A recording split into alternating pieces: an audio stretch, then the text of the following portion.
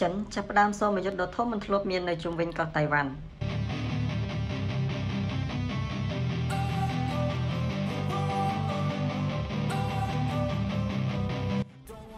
ចិនបានបាញ់មីស៊ីលប៉ាឡេស្ទីនជាច្រើនគ្រាប់នៅក្នុងសូមយុទ្ធទ្រង់ទ្រាយធំនៅក្បែរកោះតៃវ៉ាន់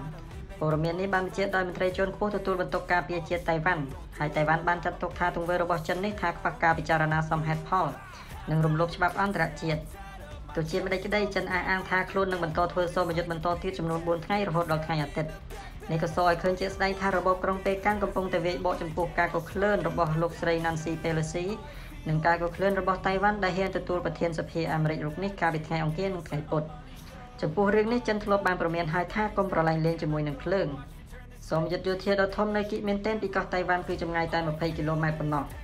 អ្នកយុទ្ធសាស្ត្រសម្គាល់ឃើញថាសូមយុទ្ធយោធាចិនលើកនេះគឺធំសម្បើមជាងពេលណាណាទាំងអស់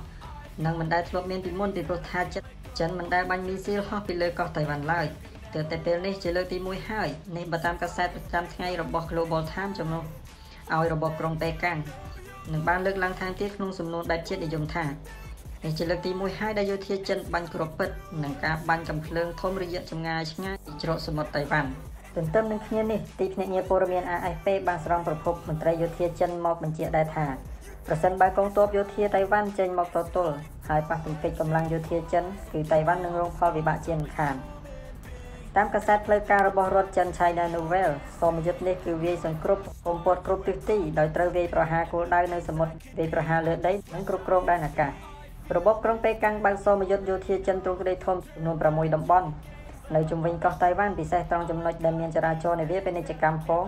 ដែលចិនថាសមយុទ្ធយោធាចាប់ផ្ដើមនឹងបន្តរហូតដល់ថ្ងៃអាទិត្យចំនួន4ថ្ងៃទូរទស្សន៍ចិន CCTV បញ្ជាក់ថាក្នុងកំឡុងពេលធ្វើសមយុទ្ធនេះគេហាមឃាត់គ្រប់នាវាដឹកជញ្ជូននិងយន្តហោះមិនឲ្យធ្វើដំណើរចូលតំបន់ដែនទឹកនិងដែនអាកាសដែលពាក់ព័ន្ធនឹងសមយុទ្ធនោះឡើយព្រោះអាចមានគ្រោះថ្នាក់អ្នកស្រីហៅឈួយជីងអ្នកនាំពាក្យក្រសួងការពារបរទេសចិនបានសង្កត់ធ្ងន់ថាសហរដ្ឋអាមេរិកជាអ្នកញុះញង់អុចអាលហើយចិនជាអ្នករងគ្រោះ ចិនគឺស្ថិតនៅក្នុងសភាពប្រងជើងការការពារខ្លួនសម្ដីនេះយើងអាចយល់ថាចិនចង់ដាក់ផ្លែផ្កាចំពោះដំណើរទស្សនកិច្ចរបស់ប្រធានសភាអាមេរិកលោកស្រី Nancy Pelosi នៅតៃវ៉ាន់នាពេលថ្មីៗនេះពីភាគីតៃវ៉ាន់តំបន់ខ្លះដែលចិនធ្វើសូមយុទ្ធគឺនៅលើដែនទឹករបស់តៃវ៉ាន់តែម្ដងនេះជាការអះអាងរបស់វីរៈសេនីយ៍ឯក Sun Li Fang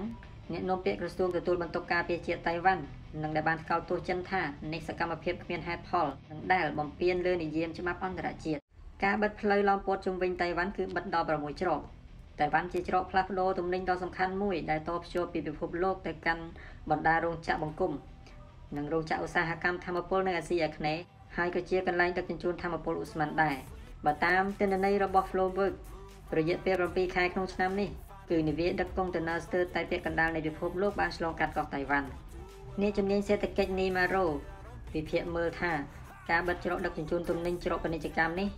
ទោះបីជាបិទរយៈពេលខ្លីក៏ដោយក៏ច្បាស់ជាប៉ះពាល់ដល់លំហូរពាណិជ្ជកម្មមិនថានៅតែតៃវ៉ាន់តែវាប៉ះពាល់ដល់ជប៉ុនកូរ៉េខាងជើងថែមទៀតផងភ្លាមភ្លាមទីផ្សារភាគហ៊ុនរបស់ក្រុមហ៊ុនដឹកជញ្ជូនតៃវ៉ាន់បានស្រកចុះជាង1%ហើយខាតតម្លៃអស់4.6%នៃតម្លៃភាគហ៊ុនក្នុងសប្តាហ៍ក្រុមហ៊ុនដឹកជញ្ជូនខ្លះបានរវាយគោលដៅទៅរកការចុះចតនៅសមុទ្ររបស់ហ្វីលីពីនវិញ ការដឹកជញ្ជូនផ្លូវអាកាសវិញសមយុទ្ធរបស់ចិនគឺធ្វើឲ្យជើងហោះហើរយន្តហោះប្រមាណ400ត្រូវបិទសម្រាប់ការហោះហើរជាមួយចិនរីឯជើងហោះហើរតៃវ៉ាន់និងអន្តរជាតិវិញ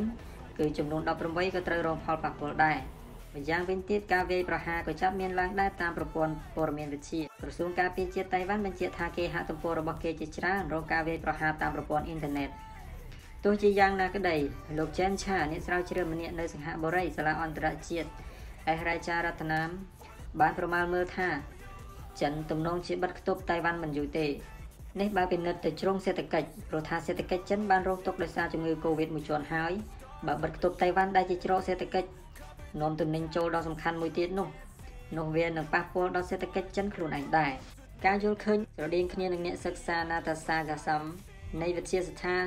Chinchanglovi Institute នៅអូស្ត្រាលីដែលថាការបិទគប់